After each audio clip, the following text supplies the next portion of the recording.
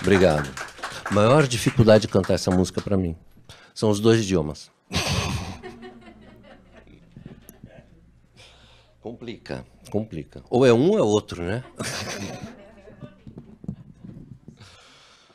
Bom, a próxima música é de real importância para mim pelo seguinte.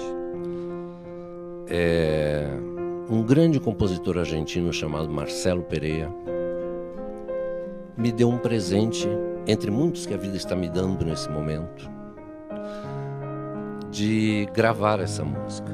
Ele me autorizou a gravar e, não feliz com isso, a semana passada ele publicou nas redes sociais dele de que Mercedes, porque quem gravou essa música foi Mercedes Sosa, que Mercedes espalhou a música por todo mundo mas que é a primeira gravação de um intérprete brasileiro desta canção.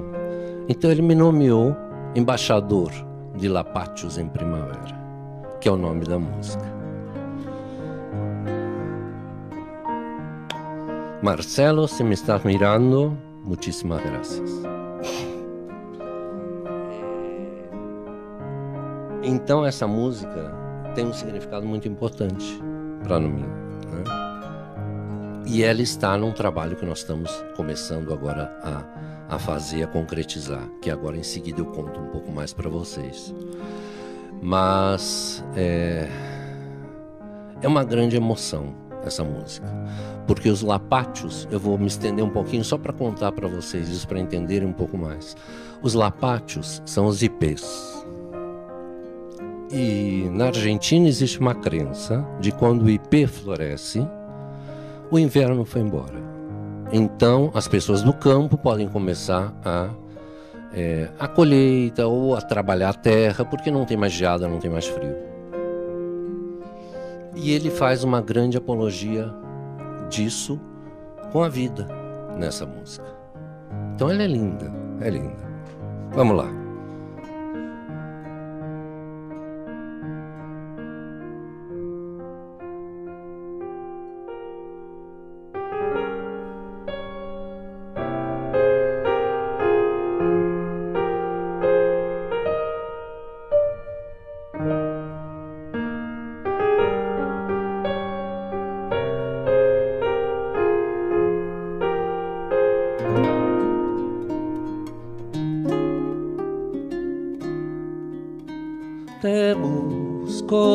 Busco yo, te busco y te busco luz, te quiero, te quiero yo, te quiero y te quiero luz, primavera los lapachos,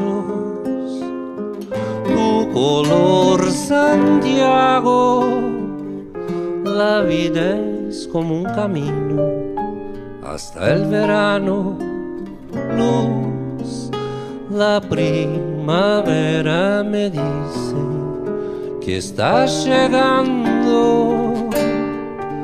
El calor que queme el alma y la vuelve canto. Y en tus calles florece mi primavera por más que la distancia que a veces duele me cause pena, la pachos en primavera, feliz mi alma llega.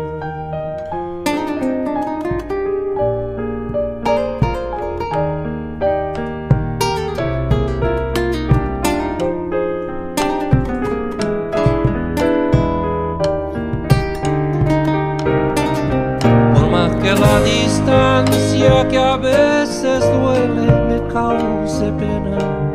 La pachos en primavera, feliz, mi alma llega.